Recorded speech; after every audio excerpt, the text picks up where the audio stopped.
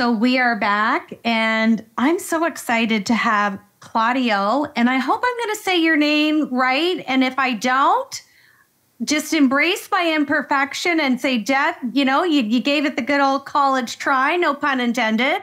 Is it Realizano? Real Sano. Well, everybody wants to put a Z there, but it's an S. Sano, And as you can see, I'm making my wife famous because I have her name on the thing. I don't know how to change it. I'm using her computer. And and we love imperfection, right? We talked about there that before we hit. Well, welcome to the show. I'm delighted to have you.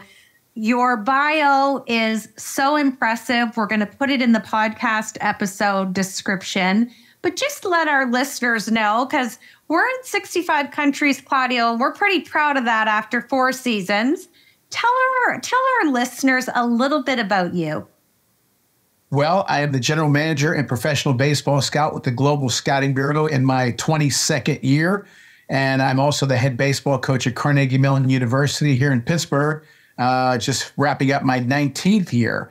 And I've been coaching for 40 years. I also host uh, or I, I host a t- boxing TV show I co-host uh, a, radio show here in Pittsburgh, a couple podcasts. I host my own podcast where I interview sports legends of the 70s, 80s, and 90s and friends. I wrote a book, um, do a few other things business wise, and uh, I wrote a leadership book. But uh, I do a bunch of things, and, and I'm grateful to be to have the opportunity to do all these things too, and, and uh, still looking to do more. Well, and and that's why I wanted to have you on the show. Your your personality comes through live speaking to you face to face, but it really comes through in everything that I did to make the decision. And, and that's the kind of leader that I like to have on the show. So I'm going to jump into my leadership questions and uh, we're going to have a great conversation. I was reading your submission, and my first question is I want to talk about styles of leadership because that's an, we could do a whole show on that, you and I. You talk about having a quote, loose, tight, end quote style of leadership. Share with us how that was created. Where did it derive from? Because you alluded to all the different things you do. You wear your coaching hat in many different ways. How did this style of leadership come to fruition and how has it served you? Well, I got the quote from my favorite businessman who happens also to be my favorite golfer, and that's Greg Norman. And they asked him what his management leadership style was, and he very simply said loose, tight. And what that means is, for example, for me, I tell my players, or at least my team leaders, I say, if there's something I feel strongly about, I'm doing it. If there's something I don't feel strongly about, I'm going to ask you. So, but but I give my team leaders um, room to lead. Uh, so it's not just me like with a joystick controlling everything. Okay. So I, I want them to have skin in the game. I want them to have confidence to to make a decision. I don't see every. I see an awful lot, you know. But there's so many things going on, be it on the baseball field or business or the shows or whatever and sometimes you'll see an elephant, but you won't see an ant.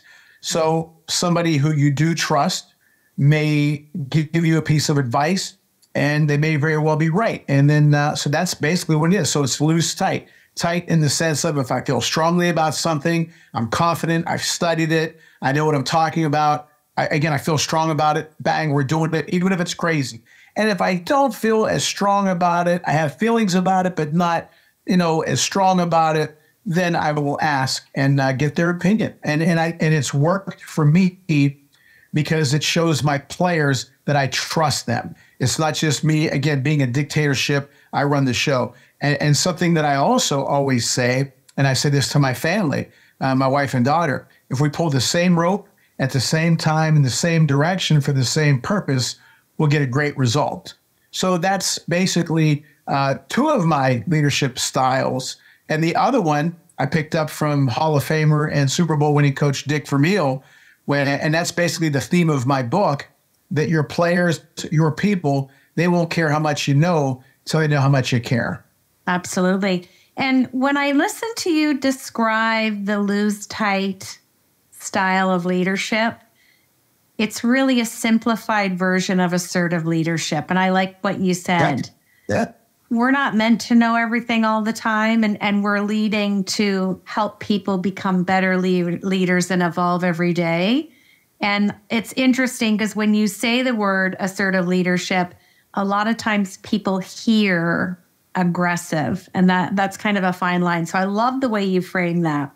My my second question has permanent residency on this show and it's we've had a lot of laughs from this question I, I, I will remind you it's only a 30 minute show that's that, that's your prelude to the question what okay. imperfections does claudio bring to his heart-centered leadership Um, you know, I, I can tell you the story that it, it's it's a very true story. It happened on my birthday, October fourteenth, uh, back in I believe two thousand seven, and it was a game that if we win this game, it is the most wins ever at Carnegie Mellon University. But the and that's what I wanted because that team deserved that that label that that win. And the team was, I heard them, they were whispering, we got to win this game for coach. It's his birthday. So we were losing eight nothing. And then I heard them say, but we got to win this game. We got to win this game. We made an unbelievable comeback, Deb. We tied it up 8 8. And the kid who hit the double, Brett, I had something to do. I had something that coaches usually don't have time to do, and that's think. So, eh, because it was a pitching change. So I called the runner over. I said, look, if the ball's hit to left field, I'm sending you. He doesn't have an arm. If it's hit to center field, it's wet. He doesn't have an arm. But if it's hit to right field, I want you to stay here at third base because we have the, the best hitters on the team coming up. Don't get too excited. I know this fan's screaming. It's my birthday. Most wins ever. Terrific. Do not, it's hit to right field, stay here. Do you understand me, Brett? Yeah, coach, I got it. I said, Brett, don't mess up. If it's hit to right field, very simple. You stay here with me at third base. Coach, I got it. Uh, Brett, don't mess this up. We got our best hitters coming up. Coach, I got it. Okay. Well, the ball's hit to right field. What do I do? I send them. I just got done telling them not to run. I send him, and he was thrown out by a mile. Okay. So then I told my team, hey, get me out of this.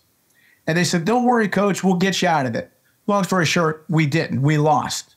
And I was in tears at the end of it. We, we meet at the uh, left field, and I wear sunglasses when I coach, and my sunglasses were catching my tears. Mm. And I told them, hey, I'm sorry, I blew the game.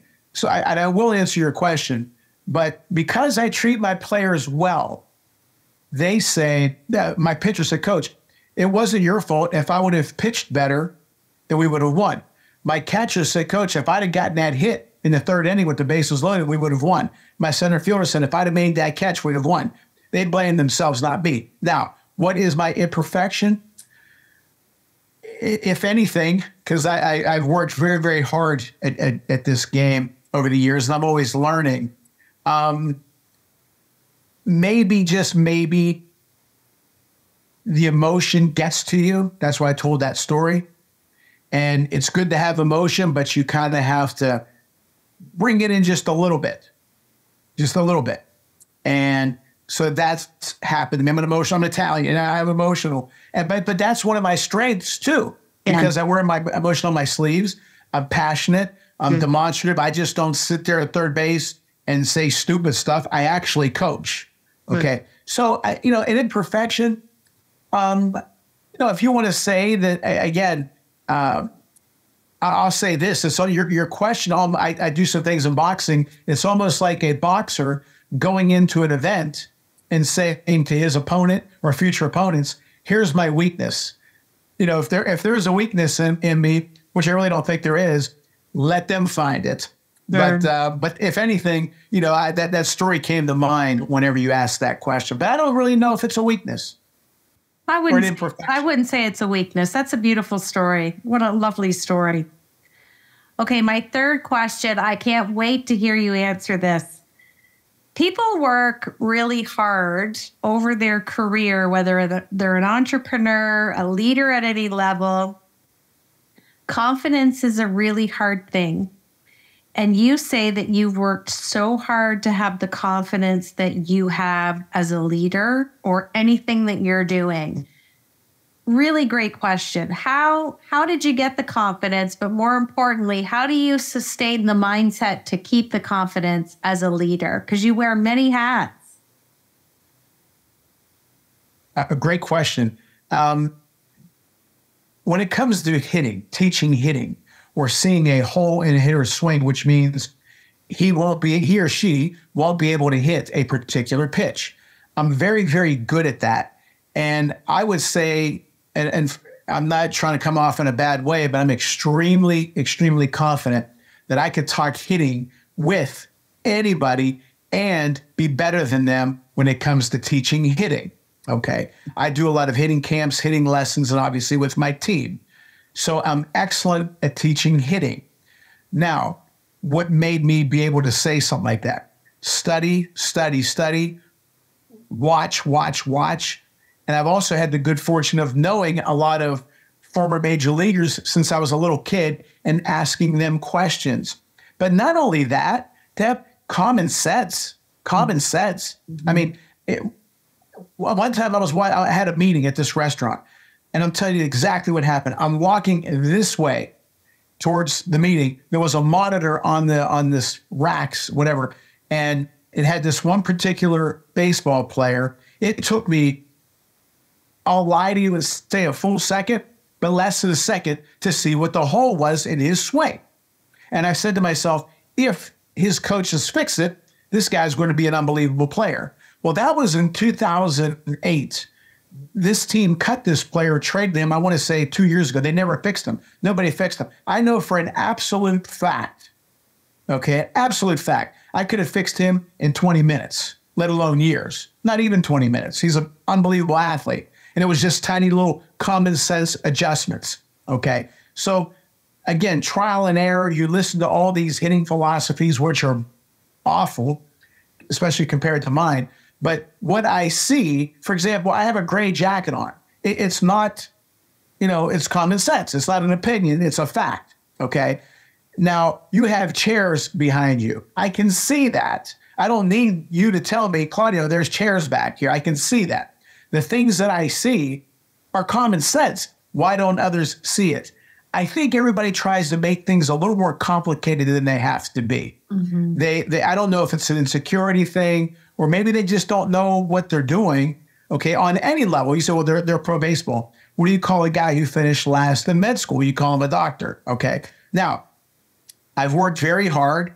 I'm honest with my with myself. I take a ton of notes. Have been taking notes in years because the people on. TV announcing games, in my opinion, aren't that good. But I can sit here with you, Deb, and show you what the guy said on TV, what the hitter actually did, and show you why he messed up, why he's messing up, and how to fix him. And you and you would say, you know what, you're right. And it's common sense. But I try to keep things simple. Complexity is the enemy of success. Okay. So I try to keep things simple especially when you're in a hitting slump. Okay. You don't need somebody making things really difficult. And for example, one of the things that's being taught is to hit the lower half of the ball to create backspin. It is impossible. It is impossible to try to hit the lower half of the ball consistently to create backspin. That is a lie. So why do people teach it? It's to show that they know something that you don't. I can do something that you don't. I'm not trying to impress anybody. I'm trying to help my team. Okay. So, and, and I'm, I'm extremely confident that when I talk hitting, we're just using hitting as an example, that, uh, so how do I get the confidence? By studying the right, the wrong, by having big ears and listening and big eyes and listening to everybody and then deciphering the good and the bad. Just like, you know, a, a politician, hopefully people, you know, they listen to this person, listen to this person, and they pick what's, you know, good. If you would have seen a submission from me saying something awful or um, negative or not much of a resume, you probably would have said, you know what, we're not going to have this guy on. But you, whatever it is you saw, you liked, here I am. So you were confident that hopefully I would do, uh, you know, a half decent interview. So, and, but I, but I, I do see, love imperfection, hence the, hence the name of the show. You know, yeah. it's really interesting because one of my favorite lines that I've used in this show quite a bit, and even when I'm coaching, and, and you've just alluded to it so beautifully, it's common sense. It is, but it's not common practice. It's not. It's, it's like well having put. the leadership language and then not having the behavior to go with what you're saying, what you are as a leader. Well said. That's I love that. It's the first time somebody's brought that up on the show. So and and oh, hitting okay. just just as a disclaimer here, we're talking about hitting a baseball here, people. Just in the right. context, in case people are tuning in later. Um, it's it's all related to sports and agility and and I just I love the way that you have framed that and it's so so Thank true. You.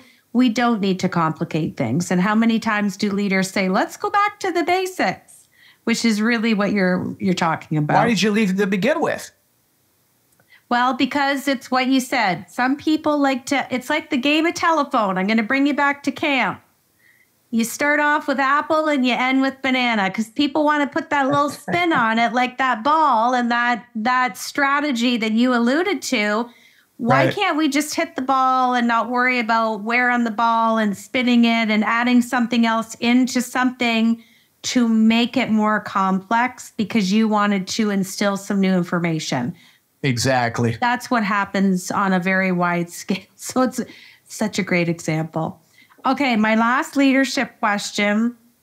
You talked about in your own life and career, we all have ups and downs. And I believe, you know, when we're down, I call that the valley, and it's it's a hell of a place to get to, and it's even harder to get out of, but it's how we get from A to B, and A to B is never linear. So give us one strategy and also an emotion because we feel and we think. How did you get back on the ball diamond? Let's use your, your analogy of baseball. How did you always get the courage to get back up uh, with the ups and downs to get yourself from A to B? Because that that's a really and that, there were a ton of yeah, there were ton of ups and downs. And, and the worst down was now I, I, I had this dream August 19, 1973. I was eight years old. Went to my first pirate game. I came, I live in the same house I grew up in. This room, I came in, my, my dad was about 10 feet away and he said, Did you have a good time? I said, I did. My uncle took me. He used to work at Three River Stadium in Pittsburgh. He said, Did you have a good time? I said, I did. But I know what I want to do with the rest of my life. Mm. And my mom was there. My mom was great. And they and they said, well, okay, if that's what you want to do, I want to be in pro baseball. It's if that's what you want to do, we'll do everything we can to make your dreams come true. My parents were unbelievable, unbelievably supportive, gave me love, taught me things. Uh, my mom, two days ago, yesterday was the 35th year anniversary that she passed away. Mm. And she was only 48. But when she passed away, Deb, and I, I went to the casket. I gave my mom a kiss. That's the first time she ever kissed me back. But before that, she said, I'm not going to give up this fight. She had cancer. She said, You promised me that you won't give up your dream, our dream of professional baseball. I was 23 at the time. And, but anyway, so I go to the casket, and my dad, I'll never forget, he had these thick hands. He was only about five five. He had these thick hands. He reached over with his left hand, grabbed me by the right hand. He said, I know what you're thinking because I was done. I didn't care about baseball anymore. I was just going to get a job and be done with it because I, I just had nothing left. And plus, you know, things weren't going great in that path of going after our dream. He said, You can't give up. You're the only thing to keep her name alive. You promised her that you'd keep the dream going, and she wants you to keep going. And I'm telling you, as corny as it may sound, like you hear the Rocky themes, right? And through the years, so many ups and downs, people throwing grapes at my feet for me to slip and put obstacles. Literally, that's another story. But throwing things at my feet for me to slip. People telling me to quit baseball, grow up, be a man. These are people I cared for. Be be uh, realistic. It's not going to happen. It's a pipe dream. And it took me. I was 36 years old. Okay, uh, when, when I finally got my, my pro job.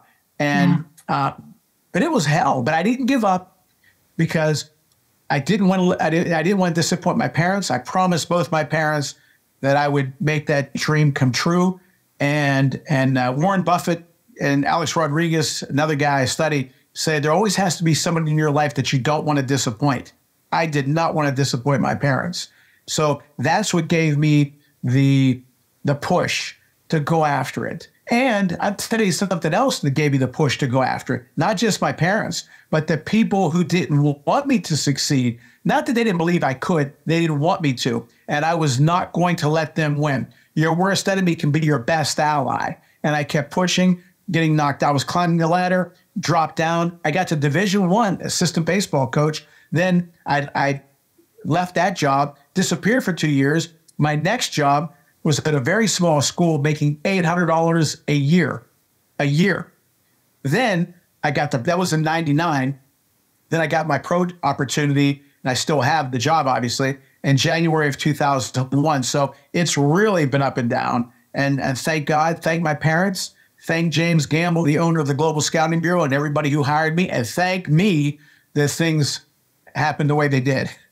Well, it's you know, it's we have a lot of serendipity. I my dad was 54 when he died, and he's been gone 36 years, so very close to you. And yeah. the last thing my dad said to me at 21 was, "I'm not going to be here for you, but you need to own your own business and you need to work with people. You'll figure it out." So that that hits yeah. me on a visceral level, and good for you. Okay, I'm going to switch to my Fab Four. We're going to have four fun questions just to just to get to know you a little bit. There's no thinking. We want to know what's on the top of that agile, sporty leadership mind of yours. First question, yeah. what is a word or phrase that you use frequently in your leadership? Turn it up. I like that. Turn it up. Um, turn it up. You know, if, if just turn it up, turn up the emotion, turn up the desire, turn up the effort, turn it up. Love that. What's a book that's really inspired you at any juncture in your life? What's the name and the author, and why was it inspired? my book and me? Well, can, of course, use your book. We're gonna we're gonna uh, we're gonna tell everybody about your book. I gotta send it to you. Absolutely. What was I, the? I'd say there, there, there's a few books. One of them, uh, business wise, uh, and it helped with leadership and everything else. But Greg Norman's uh, The Way of the Shark, oh. unbelievable book. And then um, then uh, there was a uh, a TV. What do you call him? A TV pastor, I guess. Robert Schuller, Dr. Robert Schuller, and it was "Tough Times Never Last, but Tough People Do." Um, so those are the books that really had them. I mean, I, I read constantly, constantly, constantly. Um, those two books, um, and, and books on Rocky Marciano, former boxer, boxing champion. But those two, three books are the ones that uh, have had the most impact. You. I love that. Okay, third question. Let me give you some context. I'm granting you a wish. You get to have dinner with a leader who really inspires you. Now, this leader could be living or maybe they've passed away. Who are you having dinner with, and what is the dinner conversation? Um, well, three people. I got to, obviously, number one and two are my mom and dad because they really made the path available. They led the path for me to be doing what I'm doing. There's an old Italian saying, if you ever see a turtle on top of a fence post, you know he didn't get there alone. They helped me without question. And my dad went through hell in his life. Mm. And one time I asked him, everything that you went through, and he went through some bad things, tough things. How did you get through it? He very simply said, I had to. I had you to raise. And my mom, when my dad was sick, she had to take over. And she did. A, a, a young girl from Italy coming to the States, uh, she took over. So my mom, had, plus, I'd love to see my mom and dad again, to be honest with you. And the third leader, without question, what? Jim Valvano. Jim Valvano was a friend of mine. If you ever heard of the Jimmy V Cancer Fund on ESPN, the Don't Give Up, Don't Ever Give Up, Jim Valvano, who was also the head basketball coach in NC State 1983 champions um, the Cinderella story of all Cinderella stories. So my parents and Jim Valvano, uh, John Calipari, the head coach at Kentucky, Um, Greg Norman. So there's a bunch of people I'd like to have dinner with, and they're they're not all Italians either. Well, that's it's it's such a special question, and and it hits people is. in different places. So that's beautiful. Okay, I'm going to ask you to finish the show by answering this sentence. Heart centered leadership is again, what I said at the beginning of the show, your players, your people, they will not care how much you know till they know how much you care. My players know the best player, the one who maybe just barely made the team. I'm there at three o'clock in the morning for them.